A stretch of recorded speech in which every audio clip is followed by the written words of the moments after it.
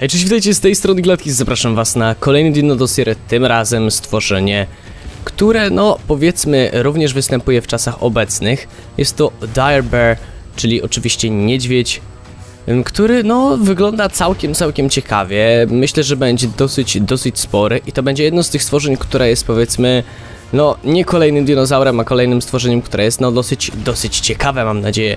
Ale przejdźmy oczywiście standardowo od początku czyli stworzenie, które jest terytorialne i jest wszystkożerne, czyli tak samo jak oczywiście nasza droga mopka, Gigantopithecus, będzie poruszała się po jakimś określonym obszarze, myślę, że niedużym, no i będzie jadła wszystko, czyli co rozumieją twórcy przez wszystko od mięsa przez rośliny, czyli oczywiście możemy go karmić i jagódkami i mięsem.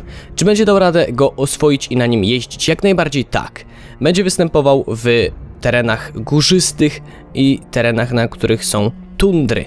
Co dalej, to to, że jest y, na samym szczycie łańcucha pokarmowego, więc no to powinno dać raczej sporo do myślenia, że jest no dosyć ciekawym stworzeniem i, i no na pewno jest dosyć silny.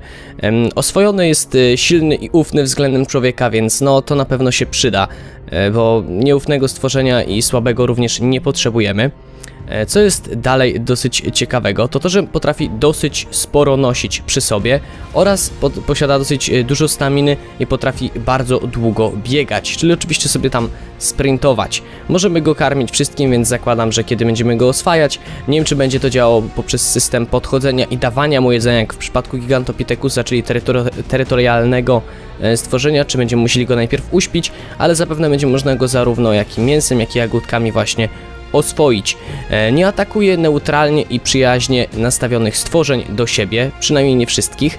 Oczywiście jeśli coś go zaatakuje, to również odpowiada atakiem. Em, To co również twórcy mówią to to, że kiedy wejdziemy na jego terytorium będzie, e, będzie po prostu starał się nas załatwić jak najszybciej. No i również mówią, że wtedy lepiej nie, e, nie walczyć, ponieważ no, nie chcielibyśmy walczyć z rozwścieczonym niedźwiedziem. Cóż, to właściwie tyle jeśli chodzi o niego. Oczywiście mamy tutaj też e, sam obrazek, który mówi nam, o, właściwie obrazki, które mówią nam o wszystkim tym, co powiedziałem. Z tego co widzę, wielkością będzie mniej więcej jak 2-3 razy jak człowiek, więc myślę, że no, dosyć ciekawe stworzenie, dosyć spore.